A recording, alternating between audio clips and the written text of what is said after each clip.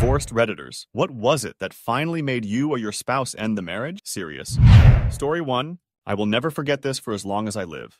Our marriage had been on autopilot for a while, and one night we finally had a brutally honest conversation argument. She asked me, What do you want from me? I said, I just want you to be with me the way I want to be with you. This is when I knew our marriage was over. She said, Well, that's just not going to happen. That memory is so incredibly painful for me, even now after we've been divorced for years and I'm remarried with a beautiful child. I still cry sometimes thinking about my ex. It still hurts. Story 2. It wasn't the cheating three years after our wedding, or even the 60k in debt she racked up.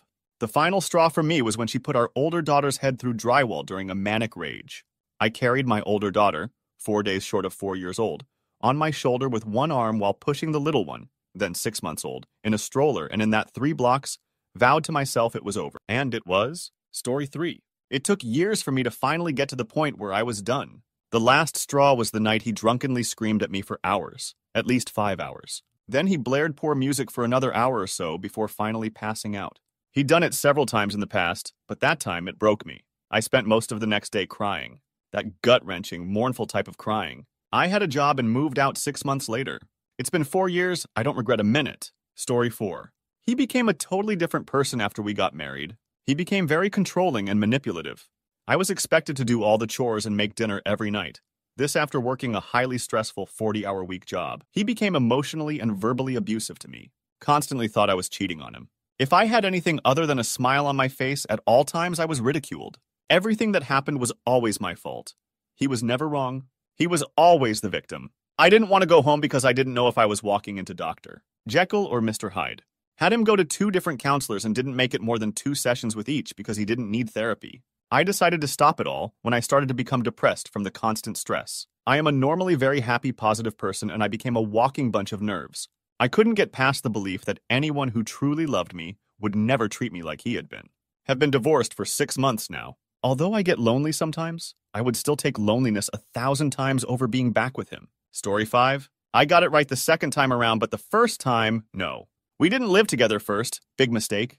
He had been able to hide his alcoholism from me, even though I knew and worked closely with him for three years before we started dating. After we got married, I tried to put him on the lease. He was denied for having three DUIs and a contributing to the delinquency of a minor charge. He said those were in his past, and he's changed. Six mows later, I was dusting a bookcase and found a liquor bottle wedged behind some books, and upon further sleuthing, found five more assorted bottles stashed around the apartment. We had a stocked liquor cabinet, but he wanted to hide his habit. He said he would get help. He didn't. One night he drove home drunk and shoved me against the wall when I told him how reckless that was. I called the cops. He got held overnight. I boxed his stuff and downloaded the divorce papers and told his dad to bring him to the bank after picking him up from the station so we could split the account and notarize the paperwork. He said, Why are you overreacting to this? It's not like I hit you. And I said, Why do you think I'm stupid enough to wait until you do? That was that. Story 6. In the middle of a divorce now. When our daughter was a little over three months old, he was busted for child prohibited photos. Edit. A lot of people are asking how I caught him. I didn't catch him. Law enforcement did. Apparently, there were hundreds of images, videos of underage girls, as young as seven, on our computer. A lot of people are also asking me if he accidentally stumbled across it. No, you can't accidentally stumble across hundreds of images and videos and save them to your computer. A lot of people are also suggesting I was quick to divorce him since he didn't act on these impulses. I don't know if he ever acted on them. In my mind, he did. The girls he watched in the videos and images are victims. He took part in exploiting them. I can't look past that. Story 7. She came up with a different excuse every time I asked her. She refused marriage counseling. She refused to talk in depth about it. They ranged from the reasonable to the petty. So I don't know. I'm going with she felt like she was too young and missing out on her party girl years. She could have figured that out earlier in our eight year relationship, so I could have gotten some time back. Story 8. We got married way too quick. It was Vegas where she was from. Came back to NY, where I worked, and she did nothing at all. She left around Xmas to see family in Vegas. Came back like three weeks later. Then a month later, just after she interviewed for a job, she told me she was leaving again to go to Virginia to help her worthless aunt move back to Vegas. She gets there and blows 500 in two days, then calls me to ask for money to put gas in her aunt's car. I said hell no, and she didn't talk to me for two days. I finally tell her this isn't working. We get quick Vegas divorce, and she is remarried six months later. Story 9. Husband asked for a separation last week. Our first therapy session revealed that he wanted out and fast. He says he doesn't know. I don't know. I have a stressful job, and my dad passed away six months ago, so I've been a pain in the peach. Who knows? I'm still shaking my head in disbelief. Wanted to separate bills and accounts. When I do that and it negatively impacts him, he gets poor. He said things like, Society made me get married. You bamboozled me into marrying you. I don't know what I want, but I don't want you. Even if I left you tomorrow, I'd still love you. It's been a fun week. Story 10. Easy answer Steve. See, Steve was that guy my ex knew in high school. That guy where there was always a spark of chemistry, but the time was never right. He was the one that got away. Years later, when we'd been married for a few years, she got back in touch with some old friends and wound up going to visit those old friends, Steve included. Old sparks began to fly, and next thing you know, the missus was carrying on an affair with Steve. She left me to be with him. They were soulmates, after all. Denied their true love by 14 years of time and two intervening marriages. Me and my wife, and Steve and his. That's the easy answer. Blame it on Steve. Truth is, I never should have got married in the first place. At least not to her. It was doomed from the get-go, and Steve was just a willing scapegoat. Story 11. My mom divorced my dad because he got caught for having on his laptop last September. She said it was the last straw for their marriage. They lasted 31 years together, and they always talked about doing things and going places too. But every time she would plan something, he denied it, saying it sounded silly or not worth his time, or he thought they didn't have the money for it, or they just wouldn't do it, and the idea would be swept under the rug. I'm 20, and their divorce was finalized about two weeks ago. It hurts, man. Story 12. I worked with special needs people, and my ex would say the nastiest, most disgusting things about special needs people to put me down and mock my career ambitions. That's when he bothered to talk to me at all. He wanted a woman that would take care of him and his needs, but he cared very little about reciprocating. I didn't want to have kids with him and have the kids think that how we were living was acceptable. Story 13. My daughter was crying one night. She had a bad dream, and my husband told me to stay in bed and went to her. She was not comfortable with him, so she kept crying for me. It escalated to him spanking her and screaming at her to stop crying. This woke up her brother, who started crying and got spanked as well. He then broke apart the chair in their room because he stubbed his toe on it, the one I rocked them in at night, and threatened to burn their new beds in the backyard if they didn't stop crying. They were five and three. He came into our bedroom where I sat, scared and stunned, got dressed, told me to deal with it, and left. It was 1 a.m. I didn't see him until the next night. I have no idea where he went or what he did in that time. All I know is I started packing and making plans that day, and nine months later, I moved out. That night was the culmination of years of gaslighting me and neglecting his children. His parents told me it was the best decision I ever made. Dot dot dot. It caused him to finally become a real parent, and not having to live with his mental health issues was the best decision for me. He still struggles with the parenting, but we are doing very well now, and we are amiable and focused on the best for the kids. Story 14 would spend 1200 on his car but yelled at me for spending over 40 on groceries. This peach spent thousands of dollars on his car and buying himself lunch daily. Always made more money than I did, but never got bills paid. I paid everything because if I didn't, I would come home to no power or telephone. Also, lots of mental abuse. I figured if I have to pay for everything anyway, I shouldn't have to deal with the mental abuse. He has been gone three years and my mortgage is two months ahead, and my phone and power constantly have a credit on the next month. Story 15. The final straw for me was having to beg for a disinterested hand job before bed on our fifth wedding anniversary. We became roommates instead of lovers. It worked for a while, but then she and I became really poor roommates for each other as well. She is a great mom, and she thinks I'm a great dad, but we're both really horrible as a couple. No cheating, no financial issues. Just really, really different people that probably pulled the trigger for marriage too quickly. We both just thought it was the next step after we each graduated from college. Good news is we're both civil and care for each other just not in a romantic capacity. My only regret is that my kids won't have a traditional two parent upbringing like I did. It made me respect my parents' loving 35 plus year marriage a whole lot more. Story 16. I just realized that no matter what I did, he was never going to change. I let him walk all over me and cheat on me for years and kept thinking of I just did more, was more patient, a better wife, etc. He would realize his mistakes. Example, he would cheat. I would catch him. A huge fight would break out. He would manipulate me into it somehow being my fault he did it. You don't love me enough. You'll never trust me again. You didn't have close relationship with me that one time back in 2006 and I felt rejected. Somehow, I would have to make it up to him and prove to him I trusted him. I'd forgive him and work my peach off to be happier, nicer, more understanding. All the nonsense he fed me, and after a few months I would just catch him all over again. The last straw was when he convinced me he had really changed. He wanted to be a family, the whole package. Of course I ended up pregnant. It turned out to be high risk and I was hospitalized often, only allowed home with bed rest. Even then, he wouldn't stop running around on me. I lost 45 pounds, my hair started falling out, I was too weak to even walk. My own family thought I was dying. He didn't even care. So at one point, I was sitting by myself and I just realized I was done. He was never going to change. And it wasn't my fault. I couldn't fix whatever was broken in him, and I was done trying. It took six months after the baby was born before doctors would let me go back to work. I moved out, spent a few years alone, swearing off men. Now I'm with a fantastic man that loves me. The divorce is still dragging on. My ex tried a lot of poor tricks when he found out I was leaving. I laughed in his face at everyone. He doesn't get it. At one point, I seriously thought I would pass away. I thought my kids would be left alone with only him to take care of them. After going through that, nothing he could do could bother me. Ever. So anyway, that's my story. Hope it helps. Story 17. Late to the party and probably going to get buried, but I'd like to share. I'm active duty and my ex-husband was is a civilian. Years ago, I went overseas for a 15-month remote tour and he stayed stateside with our 10-month-old. I called him to let him know I got approved to come back and visit for two weeks for my mid-tour, and he said he needed to call the utility company and have the gas turned on so I could take a hot shower when I got home. Me. Wait, you don't have hot water? Why? X. It's expensive. Keep in mind that the baby was now 1.5 and this was winter in the Midwest. Me. How does baby take baths? X.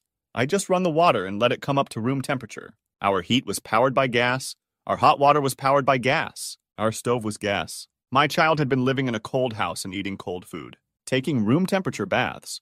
He had a decent paying job. I paid the rent and daycare bills directly, plus we shared a joint bank account. There was no reason my kid should have gone without. When I landed stateside, I went to the house to get my kid and he attacked me, ran out of there with kiddo and straight to a lawyer to file for divorce. I found out later he'd been arrested for possession with his girlfriend a couple weeks prior to my visit. Dunno where my kid was for that? The police report makes no mention of a baby in the car. I spent my two weeks on my mom's couch and my kid had to go back to my ex's house when I left. I finally got full custody after his neighbors found my four-year-old running around outside in the middle of the night crying, trying to find his dad. X had left him home alone. Neighbors called the police and I got an emergency order. This ended up being longer than I intended, sorry all. Thanks for reading. Story 18. We never stopped loving each other, but she could never communicate what she really wanted, and then she spent about a year completely hiding her feelings, while putting all of the responsibility on me to fix everything, without making me aware. When we were breaking up, she finally let me know what she really wanted, and what she had meant to say but couldn't, but by then, she was too committed in her own mind to splitting up. The worst was that she manipulated me into doing things for her before she told me she was leaving. Story 19. We'll be divorced very soon. Have met with lawyers. Three weeks ago to the day he lost it. He beat the cow out of me, choked me, then pulled a gun on me I. Front of our four-year-old. The past few years he has struggled with a pain pill addiction, even going so far as to steal my medication. Once took one three bottle of Percocet tens two days after it was filled. I didn't know for a week because I use those planner things. Tried to get him help. He didn't want it, became increasingly hostile, and I kept thinking it would get better. But it never did, and this was the last straw. My son and I have both been diagnosed with PTSD, and I have a VPO. I also moved across the country while he was still in custody. Mommy bailed him out and then showed up at the house screaming about how I probably provoked him. I'm in a wheelchair. Anyway, yeah. Done. Over. Not asking for anything because fudge him, I got this. I'll add that he lost his cow because he was going through withdrawals from not having pills, because I have spent the last six months in terrible pain to remove the temptation from his grasp. I didn't know he was getting them from a guy at work until he was in jail, and I scoured everything. His eyes are super dark brown, and I could never tell if his pupils were constricted, but I trusted that he was off them. He's just a loser. And I was stupid enough to give him chances because love, edit. A word. Story 20. My drinking. I'll save the excuses for another day, but at the end of the day, depression and drinking, chicken and egg scenario, led to the end. She started going to a therapist because I made her go nuts. And they recommended that she make an ultimatum with me that if I drank again, I would have to move out until I was sober three months. We had a two year old and four year old at that time, and the alcoholism had been going on for about three years. I drank again because I'm an alcoholic. I moved out, and that was basically it. I had a few rough months, but joined AA and checked myself into a seven week rehab program. She started seeing someone else while I was in rehab, we had basically come to terms with the fact that it was over when I entered rehab, and that she could never go back to where we once were. We sold off our house, paid off our debts, and she used the remaining money to buy a place for her and the kids.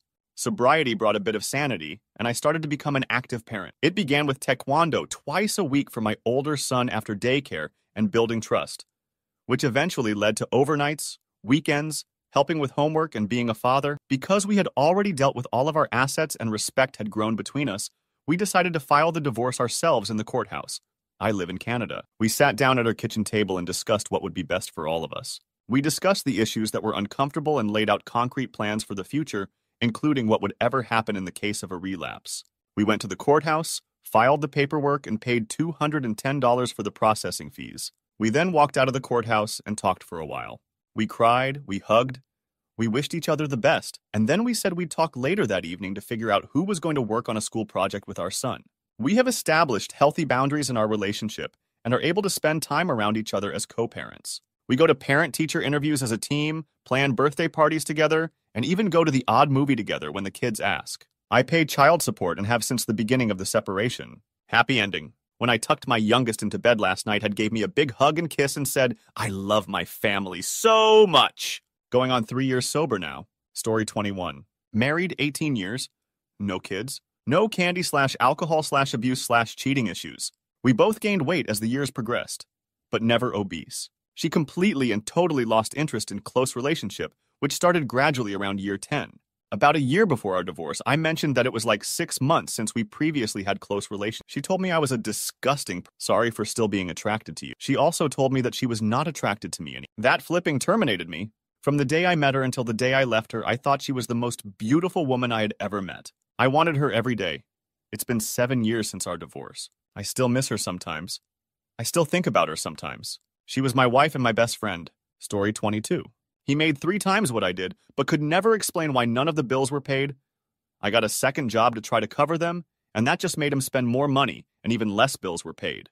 When I expressed that I could absolutely not do this anymore after a year, he told me that he had no intent on doing anything different.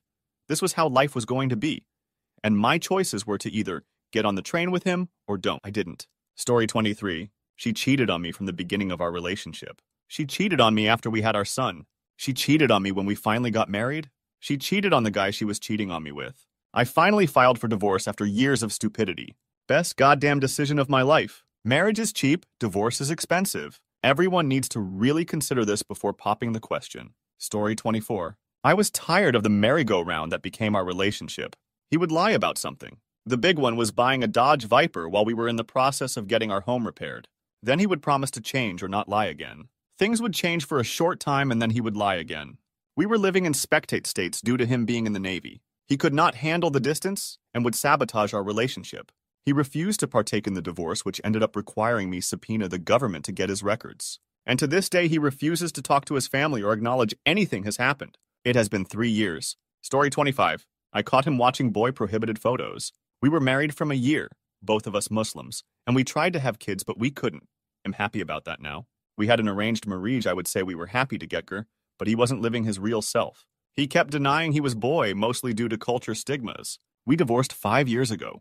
I got married again two years later and have two beautiful kids now. We lost touch after the divorce, but I was curious and looked for him in social media. I think he met someone he travels with him everywhere. Maybe they're just friends, but I don't think so. I'm happy for him. Story 26. I got married for all the wrong reasons. My dad had just passed away a couple of years before, and my mother and sister collaborated in an act of epic that defies explanation later that same year. I was left completely alone. I was a mess. To shorten a ridiculously long story, I fell head over heels in like with a girl I worked with at the ripe old age of 19. She was smart and stubborn and genetically incapable of backing down from an argument.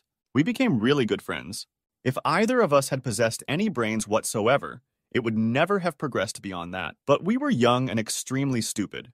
Redundant, I know and one day she gave me an ultimatum. Either we got married, or she was leaving me forever. Inadvertently, she pressed the button that was installed by my family a few years before. I was too much of a cat to tell her to fudge off, so I spent the next 10 years married to her. It wasn't all bad, not at all.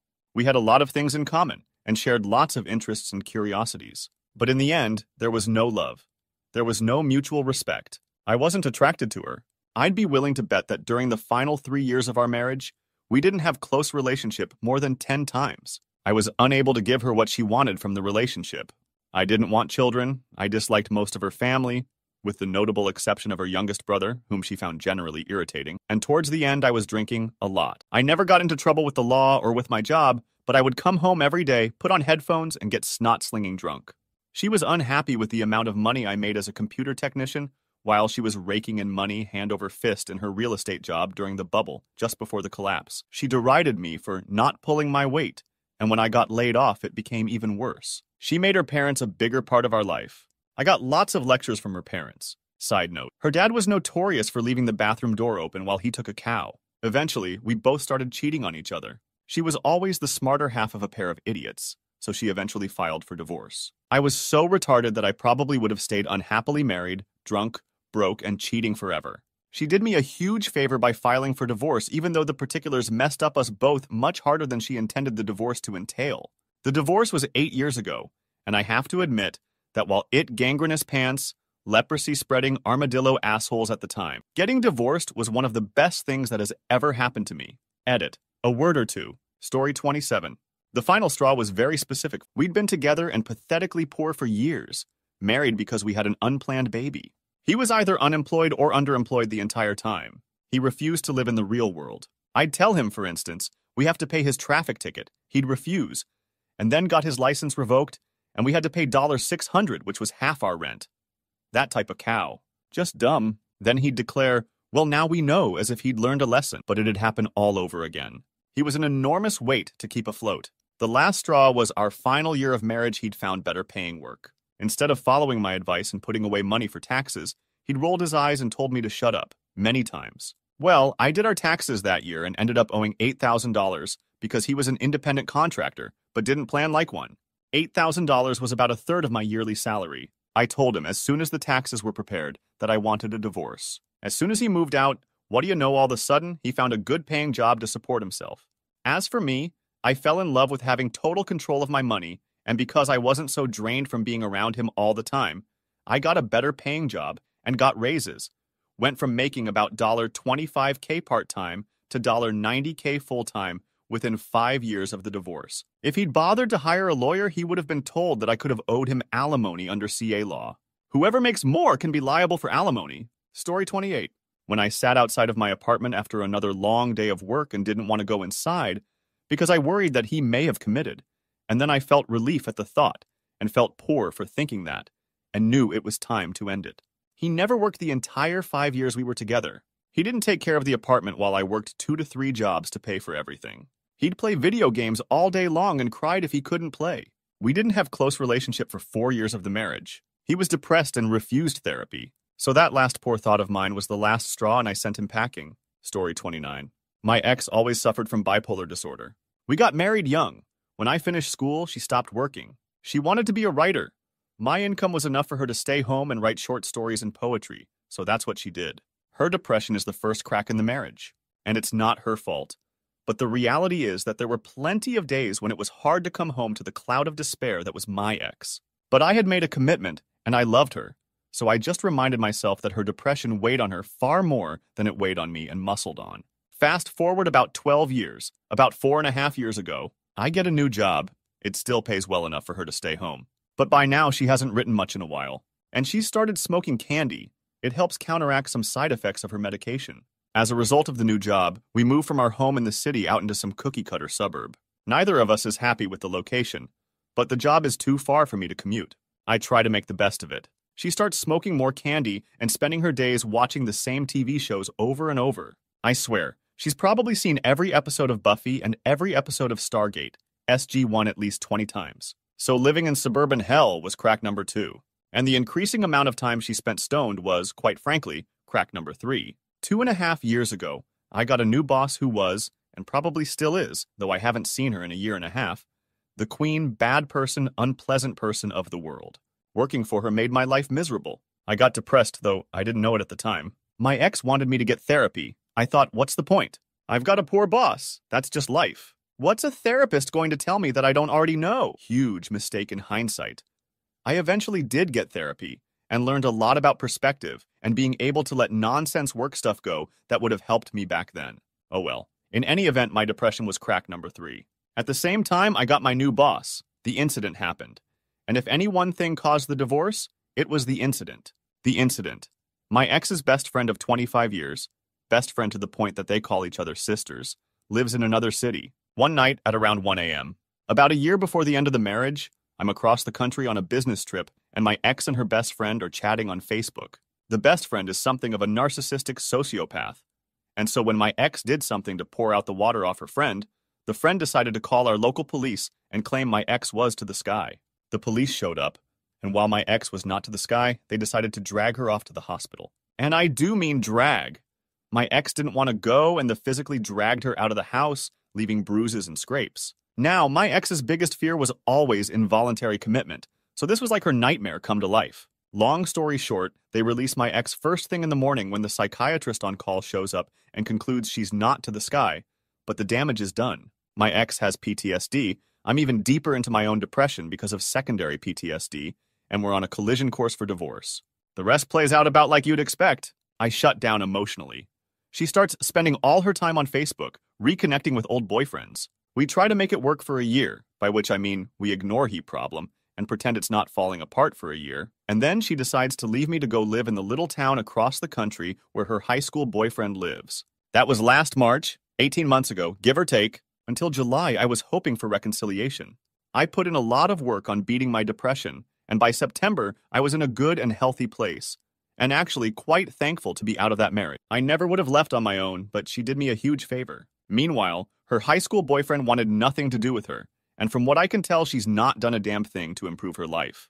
To the contrary, last month she moved across the country to live with the psycho friend sister, who falsely called to have her committed. Go figure. I only ever hear from her when she's got some problem in her life that, in her fevered imagination, is my fault.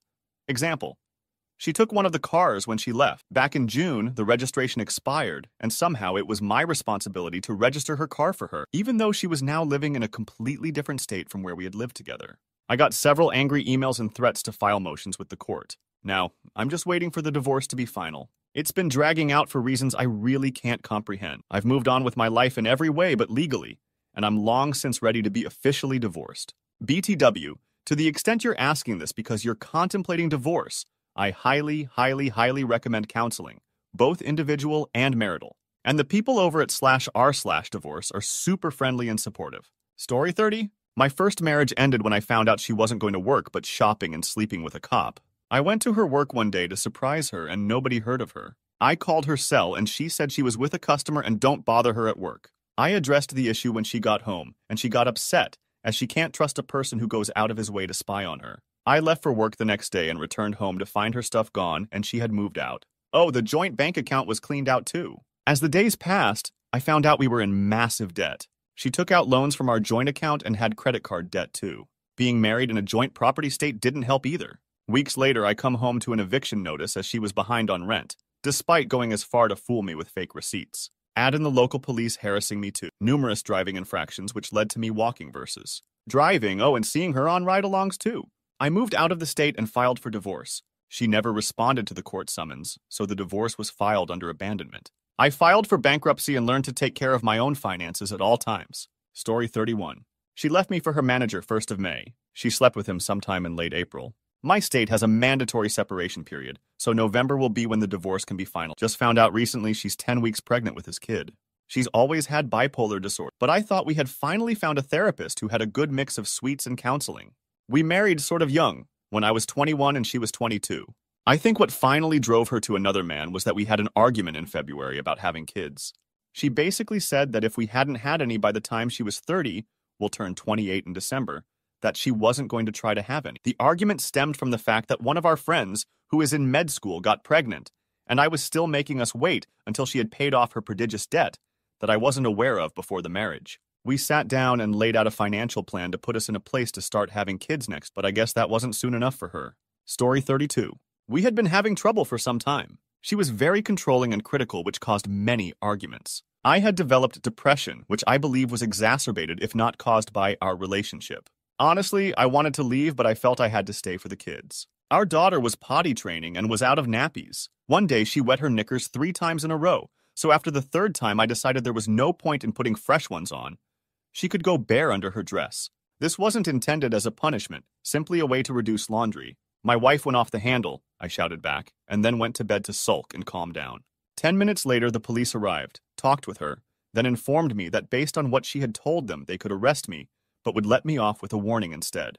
The male officer gave me the best advice I've ever had. I should get out now, because if I ended up with a police record, it would make it less likely I would have access to the kids after the inevitable breakup.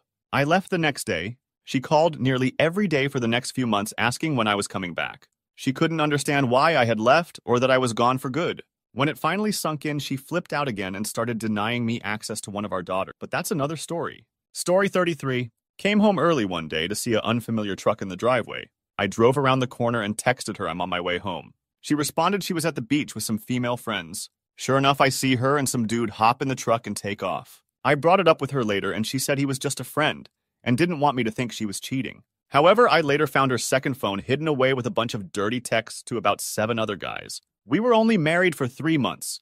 Flipping worker. Story 34.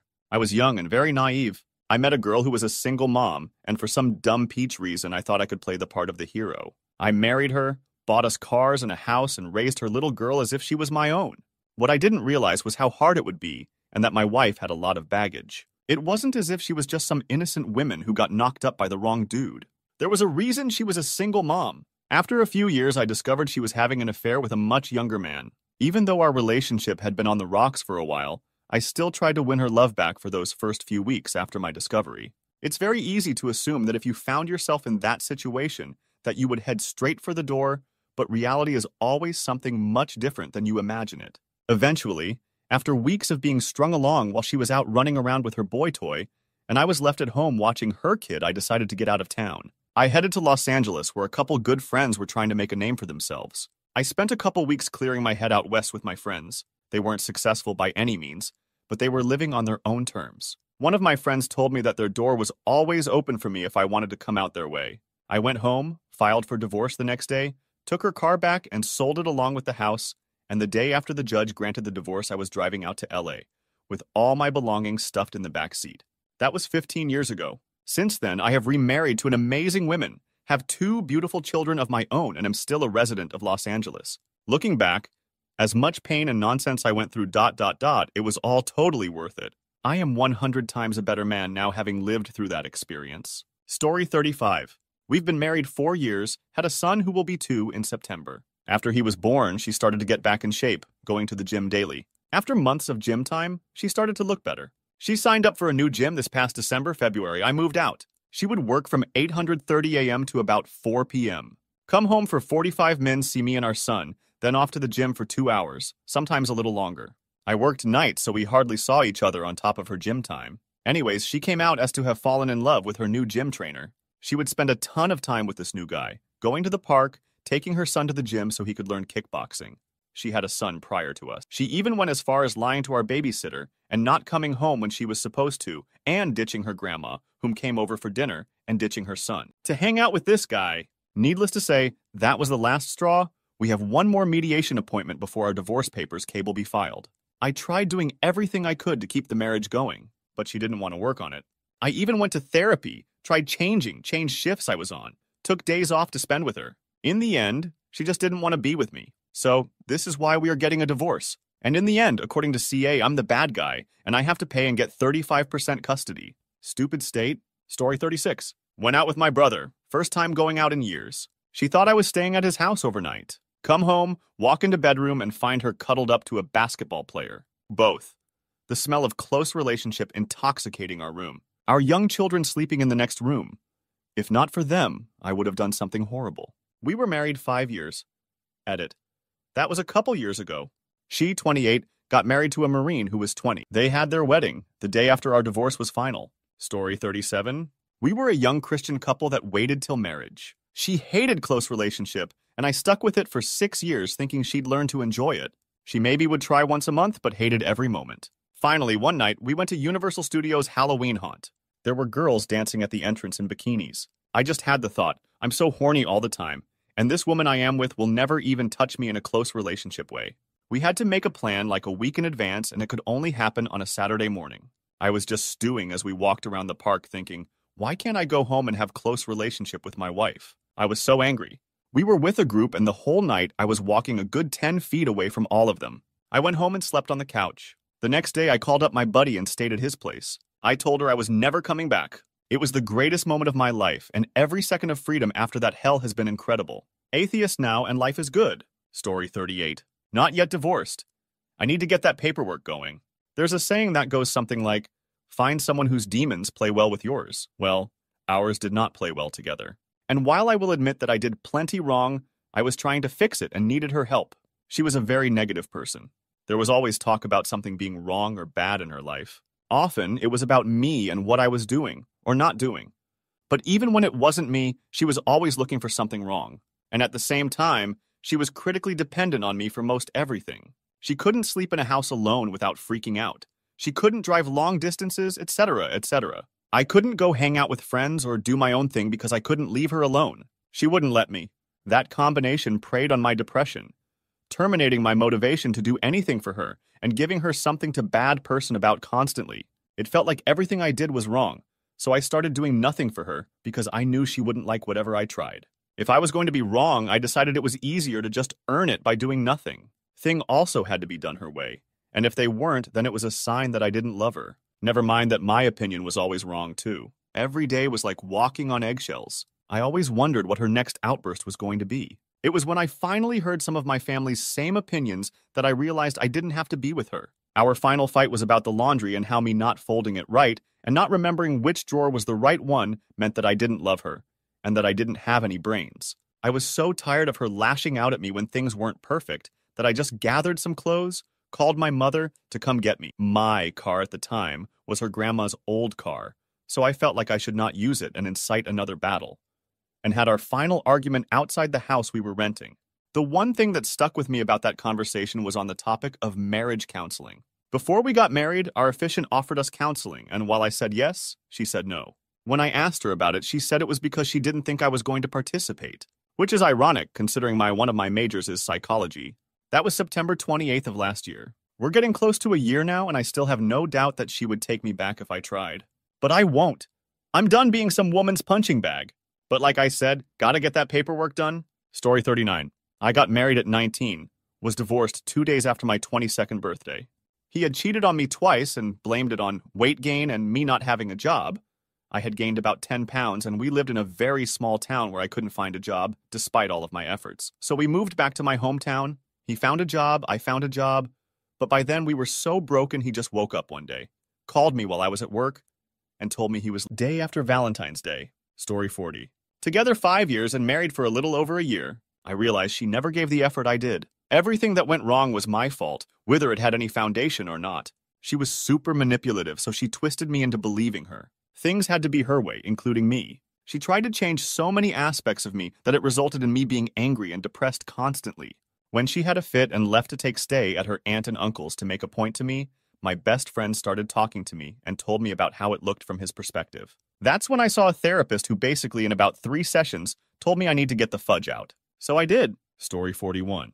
She cheated on me. I begged her to stay. We did counseling, and we limped along for another year or so before she finally had the courage to ask for a divorce. It broke me, but I'll never be able to thank her enough for ending it. It broke me, but breaking me was the only way I could ever rebuild myself. Now I'm engaged to be married next spring, and I'll never tolerate someone cheating on me again. Lessons learned the hard way for sure, but learned nonetheless. Story 42. I was a young, insecure kid who had never been on a date. She was a couple years older, with lots of mental issues, but she was into me, so I completely ignored all of the warning signs. During my last year in high school, she got pregnant. There was no way she was going with deprivation, and I was still in my OMG, this girl wants to sleep with me phase and wasn't thinking rationally about much. Soon we were married and had another kid. A few years later, I came to my senses, realized we were completely incompatible, and that I was deeply unhappy. I told her I wanted a divorce. After years of legal wrangling and such, I ended up with full custody of our daughters, and she mostly disappeared from our lives. Story 43 suspected the ex-wife was cheating when she moved out of town to take a job she really didn't need to take. She got her own apartment and I had really bad gut feelings for months. Got off work early, I commuted to work near there, and walked in on what seemed to me to be a pajama party with a guy there and another friend. I was mortified but not sure about anything. Denial is powerful. The guy was excruciatingly suspiciously nice to me. She confessed a few days later and said she wanted a divorce. We're actually on good terms now. We should never have gotten married, though, not compatible in any way. 1. Advice. I wish I had. Don't get married just because it seems to be the normal, expected, or comfortable thing to do. If your partner wants to but you're not sure, then trust yourself. You are not bound by law to get married by a certain age or ever. Don't do it unless it's right for you both. Trust me, it's easier to say no before than no after. Story 44. She was originally really clingy, but suddenly went through a phase where she wanted to go out with her girlfriends dancing. I was all about it since I'm not into dancing and I'd stay home with the kids. One weekend I got a babysitter so I could surprise her at the club she said they were going to. I went there and she wasn't. I waited until she got home and she swore she was there. I showed her the wristband they gave me and she still insisted she was there. I get that she was having an affair and I could understand. But to keep lying, I can't move beyond that. Story 45. She had psychiatric problems that were getting worse. She was in and out of the psych ward. She wasn't outright crazy most of the time. It was mostly just depression dotted with mildly psychotic episodes. Being around her was just really starting to weigh on me since there was nothing I could do. She was gaining weight, and I found her less and less attractive. Eventually, I said some really poor things, venting because I couldn't talk to her lest I just make her more depressed, on a forum like this, and she found it. Well, that was pretty much it. There was no taking back what I said. Story 46. Was willing to try to save it by counseling after I found out she cheated. Found messages to her boss, he gave her the gate key to his community, and they had cute little nicknames for each other. But she didn't want to do counseling. About a day after she tried to run me over with her mother's car. Currently getting divorced. Taken about a year so far, and the next court date is five days from my birthday. Sigh. Story 47.